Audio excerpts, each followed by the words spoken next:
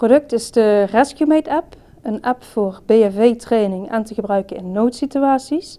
Het innovatieve van het product is uh, sowieso dat het een app is, maar daarnaast dat het een uh, datamanagement heeft waarmee BFV'ers tussentijds training kunnen doen en uh, niet één keer per jaar de training hoeven te volgen, maar dat ze tussentijds het kennisniveau op peil kunnen houden. De toevoeging van de markt is dat tegenwoordig hebben we steeds meer flexwerkers en BV'ers zijn daardoor niet meer altijd ter plekke.